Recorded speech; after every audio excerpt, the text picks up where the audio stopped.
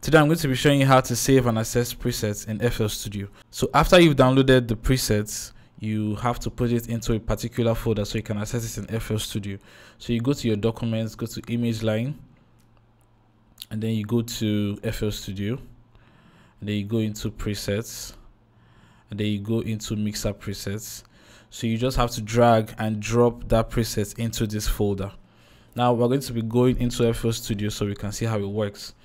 So this is a vocal that I recorded just so I could show you how the feature type vocal preset works. Pray for my demon skill, I got you. Every time I sip on codeine, I get vulnerable. I'm knowing the sound.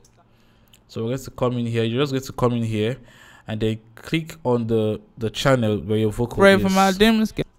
Okay, right click, go to file, and then look for the preset. It should be here. So look for the preset. You see feature type vocal presets. So we click on this, the presets is going to load. All the plugins will load in. Okay, and then you're going to have this. Pray for my demon skill, I got you.